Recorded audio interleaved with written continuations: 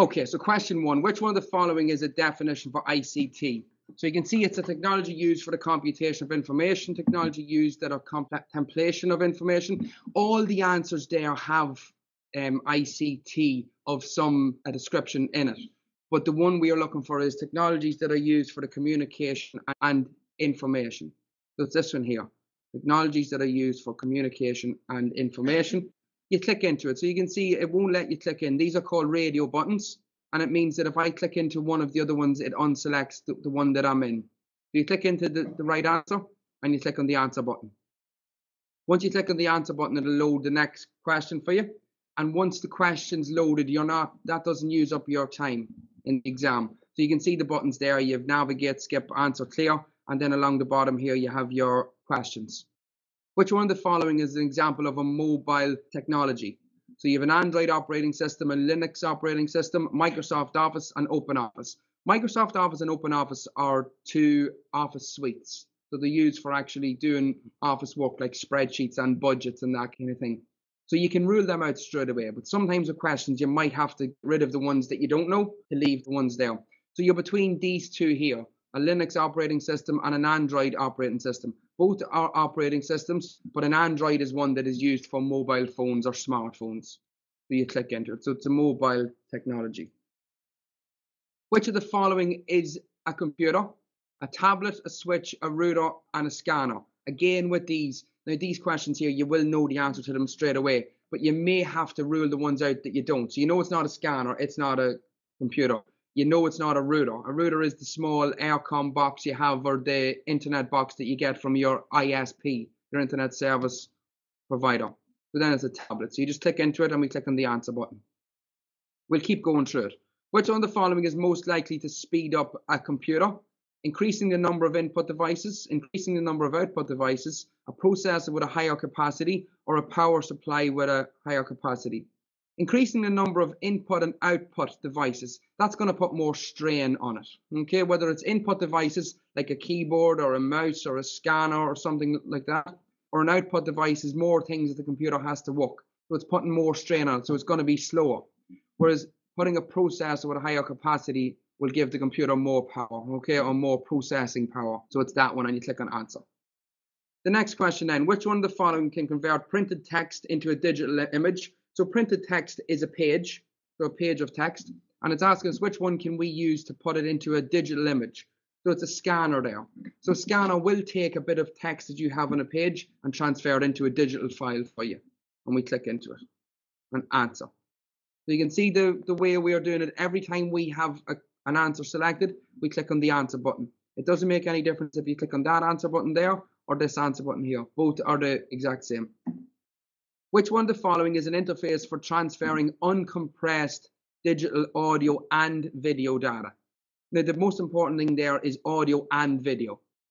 VGA will transfer video. So VGA cable is the one that you'll all have seen. It's a cable and it has a blue end on it. You know the ones that you twist into the back of your screen or your PC? That's a VGA cable.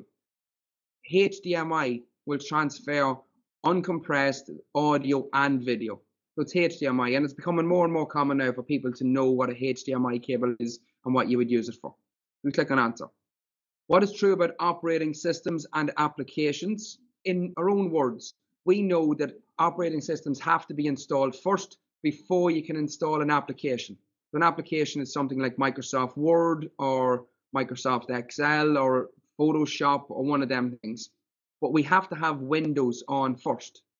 So you need to look at the, the answers then to see which one replicates that. So if we go here, you can see applications are always installed first on a computer. Well, we know that's not true. Operating system is always installed first. That's right so far on a computer, and then the applications. That's the right answer there. So a lot of these questions, you'll know the answer in your head. You just have to look and see which one of them is the appropriate one then. We click on answer.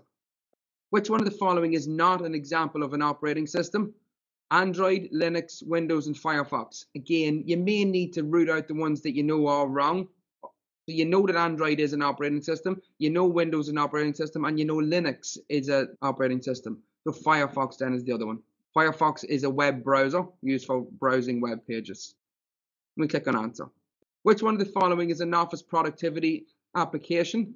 Minesweeper, Chrome, Unix, or Excel. So Minesweeper is a game. Chrome is an internet browser. Unix is an operating system. So Excel, and we know Excel is used for doing spreadsheets and budgets. Which one of the following is not true? You can see they have in capital letters about an end user software agreement. So this is the terms and conditions or the T and C's. It is a contract between the licensor and the purchaser. It is uh, it establishes the purchaser's right to the use of the software. It contains offers to buy additional products to a reduced price. It may define ways under which the copy can be used. The most important thing is here it's not. So all the other ones are true, but this is not true. Okay, it doesn't contain offers to buy additional products. And click on answer.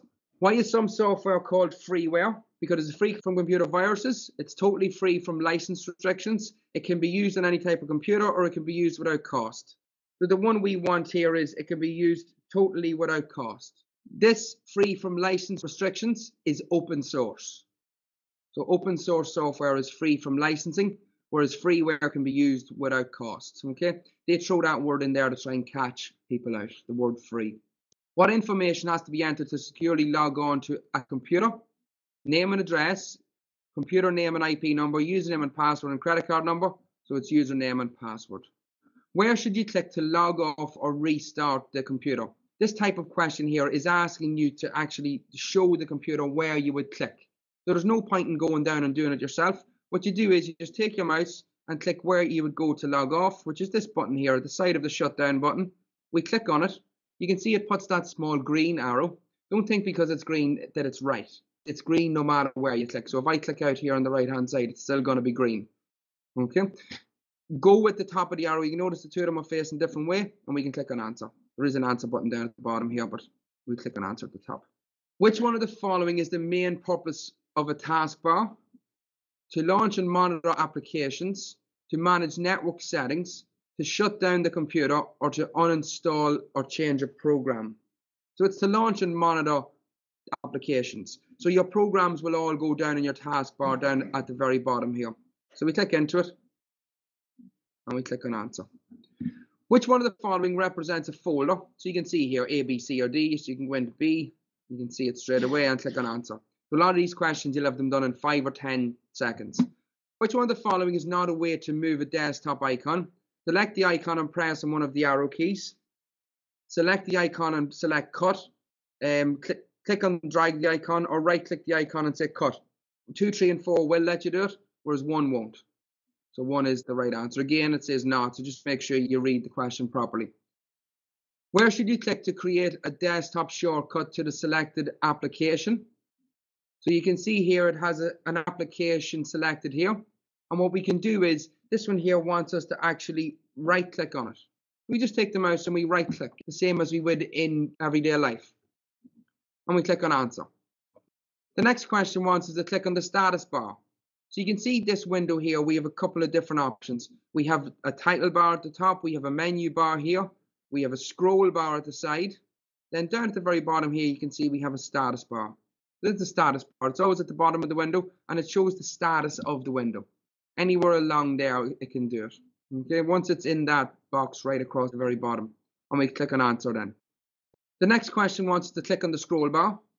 So you can see I went for the right hand side here. We don't have a scroll bar there but there's a scroll bar here in the middle. If they give you a um, question looking for a scroll bar, it will be present somewhere. So you may have to look around for it. And we click on answer. Where should you click to close the open window? So you can see this window's open here. Be sure not to click this red X, because this is the window from the program. It has happened people in the past. It's this open window that they are talking about here. And we just click on the red X there, and that'll allow you to close it we say answer. Where should you click to switch to the Skype window? So Skype is open somewhere here. At the minute, we are in the computer window. If we want to see the other programs that are open, we can go to our taskbar at the very bottom. You can see down here we have Skype and we would click on it. In everyday life, the window would open up with Skype for us then, and we click on answer.